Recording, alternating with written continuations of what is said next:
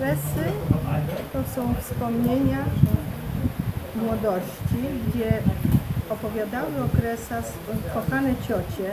Ciocia z opowiadała o swoim ojcu, który był zawiadowcą stacji w Zdołbunowie, o zwyczajach, o tradycjach, o miłości do Kresów. Zostały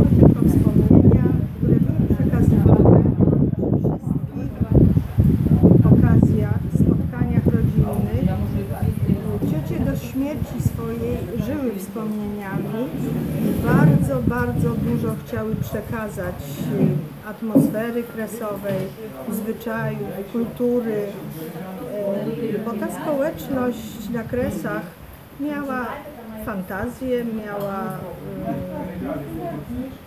wiele tęsknot swoich, które realizowała.